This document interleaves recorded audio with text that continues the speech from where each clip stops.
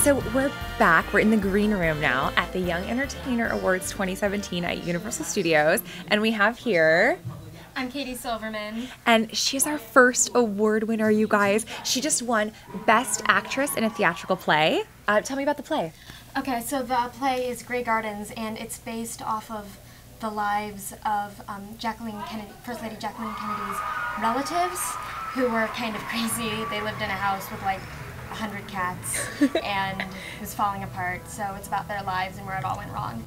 That's amazing. I actually saw this play at the Ahmanson and it was fantastic. Um, what was your favorite part? Was there something about it that you were like, oh, this is really fun? Um, well, I just loved working with Betty Buckley and Rachel York. It was so incredible that they got to pass on their knowledge and their tips to me. It was just an amazing experience. Those are some amazing actresses to look up to. Congratulations. You look Thank amazing. you. This is such a big honor. Congrats. Thank you so much.